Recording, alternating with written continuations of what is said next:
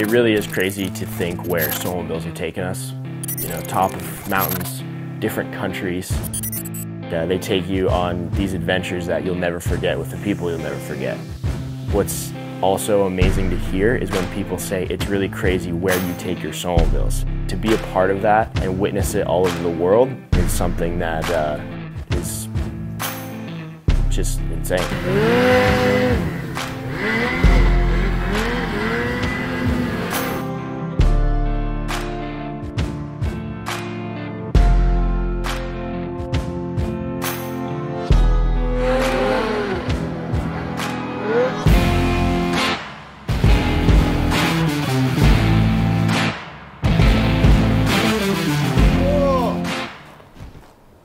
Seems like daytime to me, dog. Yeah, it's 5.30 in the morning. We're in my hometown, Skellefteå. And it's time to go to Finland. We gotta start filming things at some point, huh? Nobody wants to see me flying through 19 airports to get here.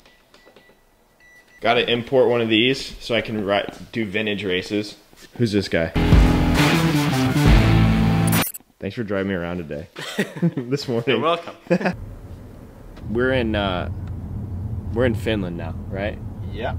I've no I I don't know where I'm at. Andreas is probably lost as well. It kind of feels like we're not going the right way. Flew in yesterday, like 150 hours of travel. Andreas knows about it. He came to the States twice this year. What's up? We need to learn Finnish. I don't know if I should learn Swedish, Finnish, Spanish, French, or just better English. Better English. Yeah, start, start with English. Okay. It's a dream trip, honestly. Let's go. Hey, welcome. see you. Thank you. Mentally, for sure, for everybody, that that was kind of a, a, a really, really important moment to show that uh, in, in Lynx there was some people who were able to uh, make such a race led which which can win races uh, against the other brands, and also that uh, this is actually what people want to have. That that's how GLS started. It's insane to think that if certain races weren't won back in the day by him and the team, we wouldn't be having the conversations. We wouldn't be standing in that room because those race wins were pivotal to the direction of the entire brand.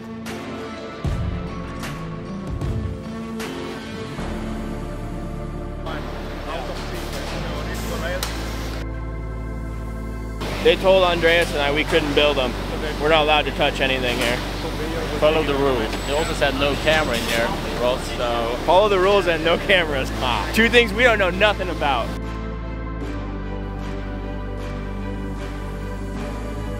Thank you, everyone. Thank you Thank you, guys. We just finished a tour of the factory. Met with the shredder team. Polly was there. We share, he shared uh, some stories of the good old days when he pioneered the racing division for Lynx. Li- Lynx Without would not have lived on if he wouldn't have won those two like first races, and he fell off in the first corner of the first heat. But that's like the real Sisu moment that like made Lynx continue living.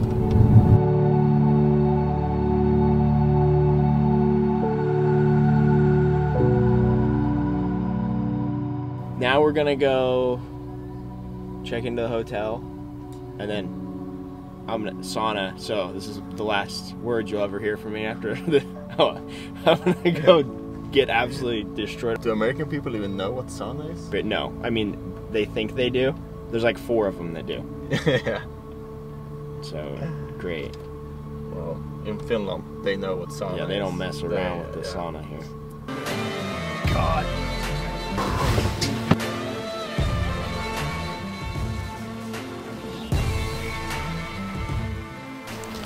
Ladies and gentlemen,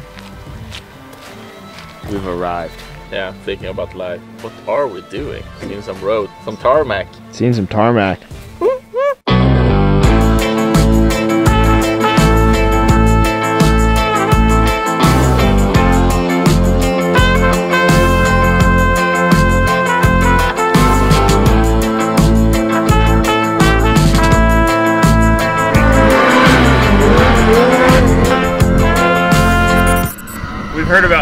For years in the U.S. and uh, it's special for sure, as you can see. Some of the best riders in Europe gather here every year in May into June.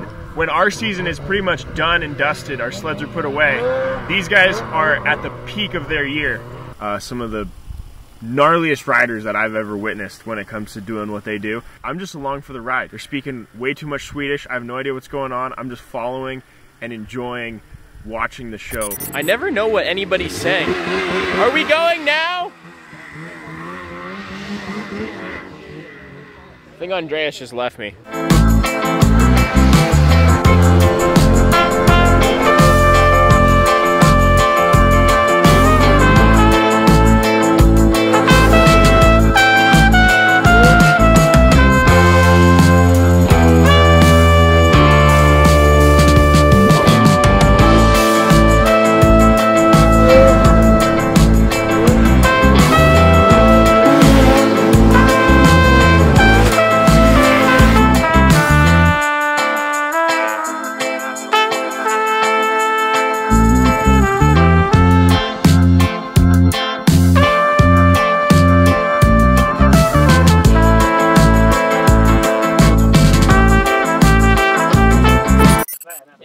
Pretty good right now. Yep.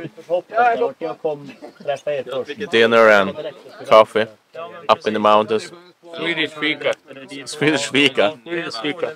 in the afternoon or Evening. evening. Like what is time? Seven? Like, yeah, 7:30. Yeah. Jo, men jag kan That's sitta good. The din sun is still way out there. We have like four hours to do in the snowmobile to ride. Views are good too. Yeah, it's okay. Yeah, It's okay. Can't, can't really complain. Yeah.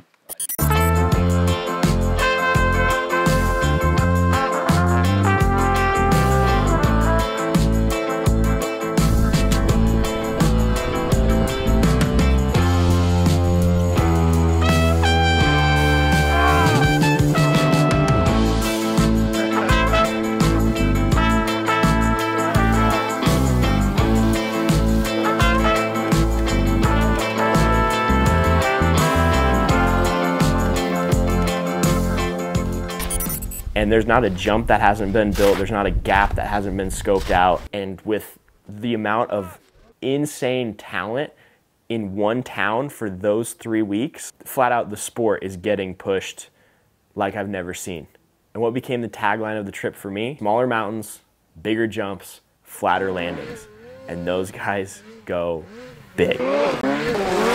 Smaller mountains, bigger jumps, flatter landings. Welcome to Sweden, mother. good. Oh, you can blame it on my attitude. Yeah, yeah, yeah. Okay, baby, that's just my attitude. Yeah, I don't blame it. If I was you, I'd probably be getting mad at too. Oh, oh, I know now, baby, there ain't no better dude. Yeah, that's just my attitude. Yeah, yeah. Okay, hey, that's just my. 109 a.m. Far north that the sun never goes down. There's still light in the sky right now. And for those of you who have no idea how that works, it's because the sun is like up here and it's like this. The sun just goes like this. Here. It never goes down. You walk outside at 2 a.m. and it's still light. I have been screwed up for the last week and a half. My sleep is ruined. I need to go home so I can go sleep properly. Ah!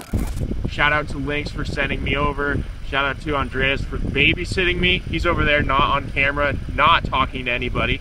He's all he's business, and when I mean business, it's flips and tricks only. Come on. Yeah, yeah. Uh, uh, uh, uh. Yeah, yeah. Uh.